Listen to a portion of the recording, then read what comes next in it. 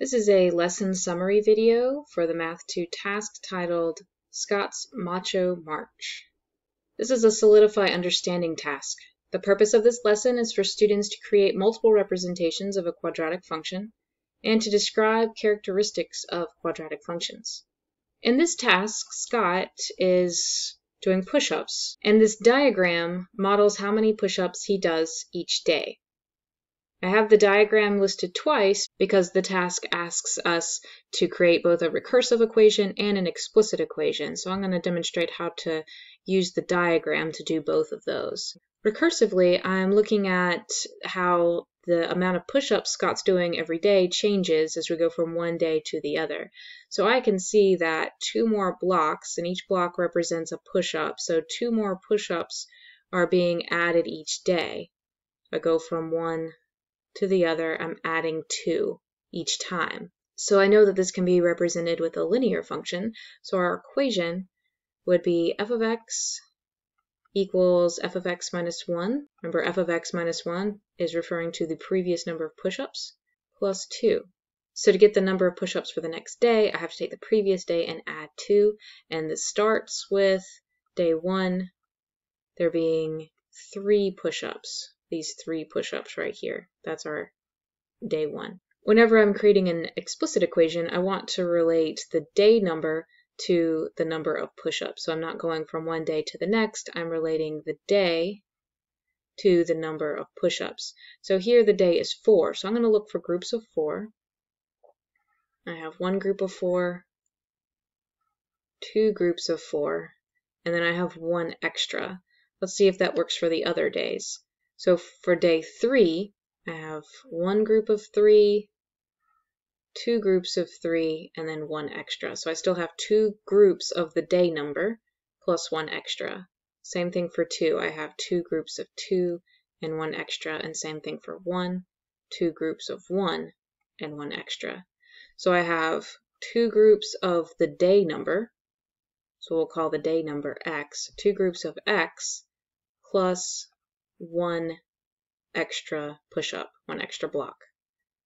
So my explicit equation is f of x equals 2x plus 1.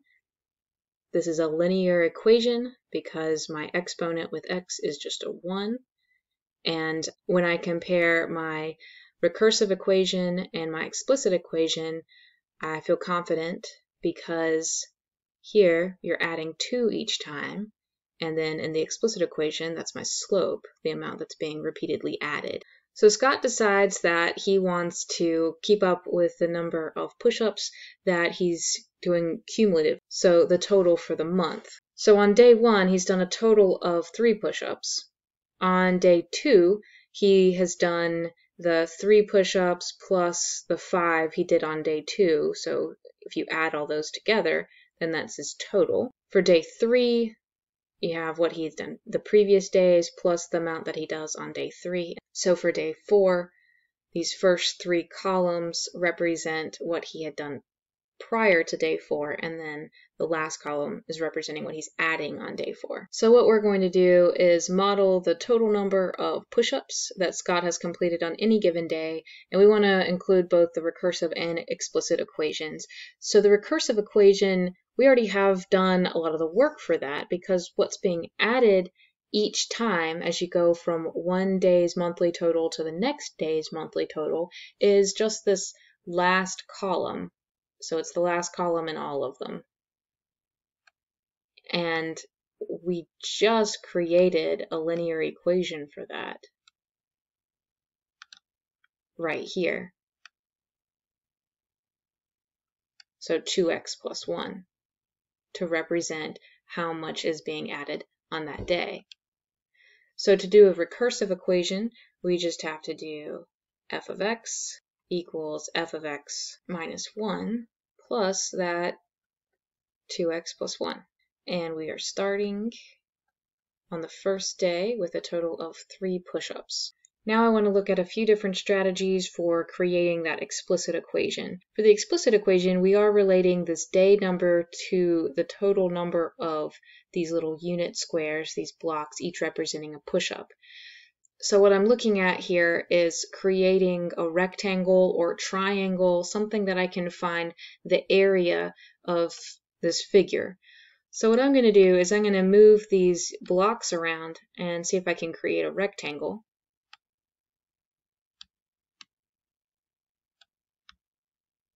So here I have a rectangle and if I do the same thing I can create rectangles with all of my figures. Now I want to see if I can relate my day number to the area of my rectangle. So rectangle area, that's area equals length times width. And I notice that the width here, or the length, one of the dimensions, is the same as the day number. My other dimension, I can get the day number in plus two blocks. So if my day number is x, I can represent one of the dimensions of my rectangle by x and the other dimension as x plus 2. I need to make sure this works for the other rectangles, which it does. Here this dimension is the same as the day number, so we're calling that x, where x represents the day number, and f of x represents the total number of push-ups. So back to day 3, I have one of the dimensions of my rectangle can be represented with x, because x is 3 here, and I have 3 blocks. And then the other dimension can be represented as x plus 2. So the same pattern worked out. You check day 2, I have x, because x is 2 now, and the height here is x plus 2. And the same thing for day 1. It's got a width here of x and then x plus 2. This means that my explicit equation, if I use this area equation, I can have f of x, remember f of x represents the total number of push-ups, that equals x times x plus 2. Let's look at another strategy for coming up with that explicit equation. With this strategy, I'm going to use what I know about quadratic functions and how they can represent area to just look for squares that have the dimensions of my day number. So for example, my, my day number is 4. I'm going to look for a square that has a length and width of 4 units. So if I move this right here, I now have a square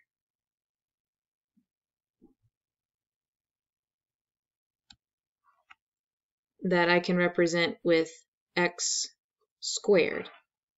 So x is 4, x is still the day, and then since x represents the day, I would need for this figure to make sure I find a square that is 4 by 4. Now for the rest of these blocks, I want to try to get them into the shape of a rectangle, which I can, and relate that to the day number. So I have two groups of 4, where x is representing 4. Let's see if this works for day 3. I have a square that has a length and a width of 3, so that's x squared. And then I can make two rectangles that have x blocks in them.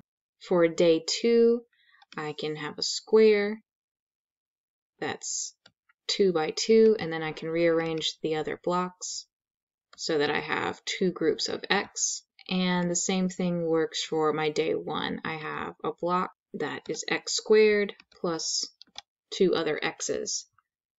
That means my explicit equation can be written as f of x equals x squared plus 2x. All right, let's take a look at one other strategy in this strategy, I'm still going to use the same idea of creating a rectangle or a triangle, in this case rectangles. What I'm going to do is double the figure. Now I'll have to at the end take half of my area, but right now I'm doubling the figure and then I'm going to rotate it 180 degrees and then translate it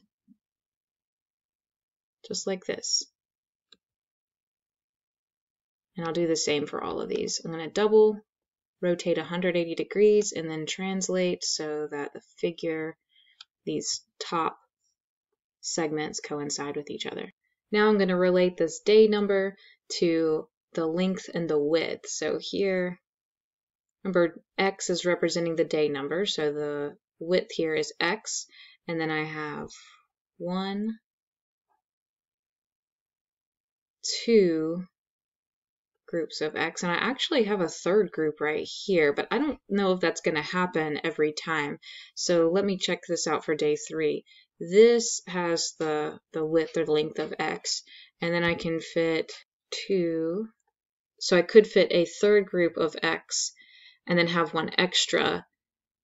Here I could fit a whole another group of x and not have any extra, but I want to make sure that I have consistently the same representation and the length and the width. So let me check out day two here. Still have one x in this bottom dimension, and then I have one, two, and then four left over. And then this is x. I have one, two, and then four left over. This means my explicit equation would be f of x equals, and my big rectangle is x for this width here, and then my length is 2x plus 4.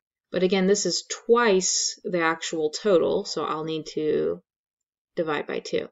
So you may have noticed that we did get three different explicit equations, and so we need to make sure that they are equivalent, which is something we can do with just a little bit of algebra. If we're comparing this first one and this middle one, what we can do is just distribute this x into the parentheses, and that will give us this x squared plus 2x that we got in the second example. We could also, of course, just take the this middle equation and factor out the x that these two terms have in common. For the third equation, what I'm going to do is distribute the x and then divide 2 into both terms. So we can see that all three of these equations are equivalent. So in summary, quadratic functions, they do model the sum of the terms of a linear function.